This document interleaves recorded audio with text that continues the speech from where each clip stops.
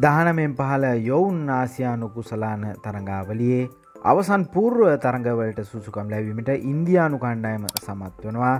නමුත් ඉන්දයානු කණ්ඩායම සිටියේ අවදානම් ස්ථානයක ඇෆ්ගනිස්ථානය සහ ඉන්දියාව අතර පැවති තරගෙන් ඇෆ්ගනිස්ථානය පරාජයට පත් කරමින් කඩලු හතරක ජයක් ලබා ගැනීමට සමත්වනවා ඉන්දයානු කණ්ඩායම අවසාන මොහොතේදී ඇෆ්ගනිස්ාන් කණ්ඩායම ලකුණු දෙසිය පනස් නමය කඩලු හතරයි. ඉන්දයානු කණ්ඩායම් පිළිතුරු වශයෙන් දෙසිය හැට දෙකයි කඩලු හයයි.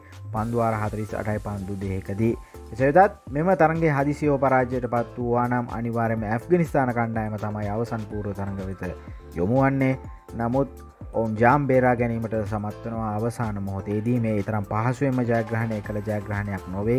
කඩු හතරකින් ජයග්‍රහණය කරන්න අවසාන මොහොතේදී. හත්වන කඩුලේ සම්බන්ධතාවේ තමයි මේ තරග ජයග්‍රහණය ගෙනන්නේ ඔවුන්ට.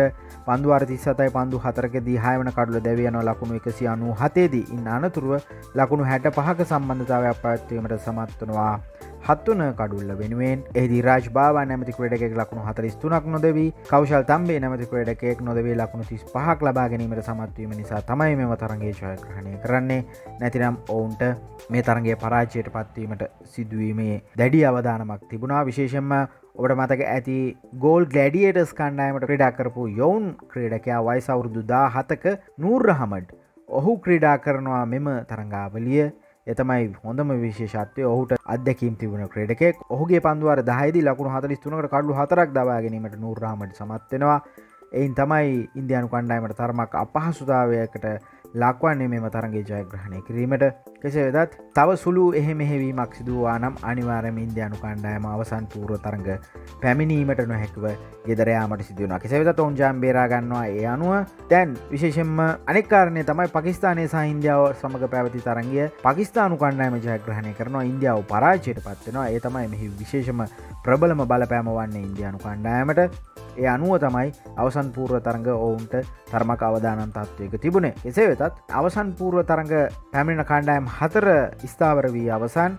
ඒ කාණ්ඩයෙන් පකිස්ානය අංකෙකට සිරවා මුහුණ දීප තරඟ තුනම ජයග්‍රහණය කර ඉන්දයානු කණ්ඩායම තරඟ තුනින් දෙකක් ජයග්‍රහණය කර අංක දෙකට සිටිනවා. එම ස්ථාන වෙනස් වන්නේ නැහැ. අංක එක පකිස්ානය අංක දෙක ඉන්දියාව. බී කාණ්ඩේ තමයි ප්‍රශ්නය තිබෙන්නේ. අංක එකට දැනට සිටින්නේ බංගලාදේශ කණ්ඩායම තරඟ දෙකයි. තරඟ දෙකක් ජයග්‍රහණය කර ප්‍රසාද ලකුණු හතරයි. ශ්‍රී ලංකාව තරඟ දෙකයි. තරඟ දෙකක් ජයග්‍රහණය කර ප්‍රසාද ලකුණු හතරයි. තාම සුළු ලකුණ ලබා ගැනීම වේගයක් අනුව තමයි මේ එක දෙක වෙන් වී තිබෙන බංග්‍රදේශංකයකට ලංකාව අංක දෙකට. බංග්‍රදේශ සහ ශ්‍රී ලංකාව අතර විසි අට වෙන දා තරග ඇප ඇත්වන මේ තරගෙන් තමයි තීරණය වන්නේ ස්ථානය අංක එකද අංක දෙක දෙයන්න ඒ අනුව ඉන්දියාවද පකිස්ානයද හමුවන්නේ කියන කාරණය තීරණ වෙන අනිවාරයම විසි අට වෙනිදාට ඉන්න අනතුර තිස්වනිද අවසන් පූර්ව තරඟ දෙකම පැවැත්වීමට නියමිතයි.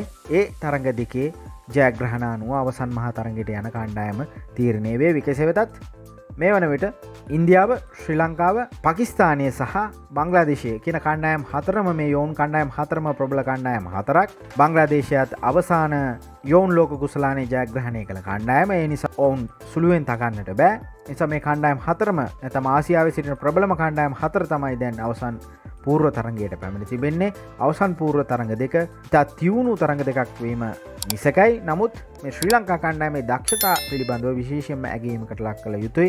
අවසාන තරංගාවලි දෙක බංග්‍රදේශ තරංගාවලේ පහට බින්දුවක් එංගලන්ත තරංගාවලි තුනට දෙකක් ලෙස ජයග්‍රහණය කර තම මේ ආසියානු කුසලානයට පැමිණ තිබෙන්නේ. ඔවුන් ඉතාමත් හොඳ මානසික මට්ටමක සහ දක්ෂතා අතර සිටිනවා සියලුම ක්‍රේඩකයන්. ඒවගේම බොහෝ ක්‍රේඩකයන් තුන්ගිරියව්වෙන්ම දක්ෂතා අතර සිටිනවා. ලෝක කුසලානය පැවැත්වෙනවා ජනවාරි මාසේදී ඊට පෙර තමයි මේ ආසියානු කුසලානය පැවැත්වෙන්නෙත් ශ්‍රී ලංකා කණ්ඩායමට අවසන් පූර්ව තරගත් ජයග්‍රහණය කර ගැනීමට හැකියාව ලැබුණොත් එය විශාල අවස්ථාවක් සහ ලෝක කුසලානයේ විශාල පෙරලියක් කිරීමට හැකියාව ලැබෙනු ඇති කියන අනාවැකිය පැපසිය හැකි. කෙසේ වෙතත් විසියාට වනිදා පැවත්වන බංග්‍රදේශ සහ ශ්‍රී ලංකාව අතර තරගෙන් තීරණය වේවී. අවසන් පූර්ව තරගයේදී පකිස්ථානයද ඉන්දියාවද හමුවන්නේ කියන කාරණය. චැනල් එක සබස්ක්‍රයිබ් කරන්න. සීනුවෝබලා වැඩසටහන් ආපුගම්ම දැනගන්න.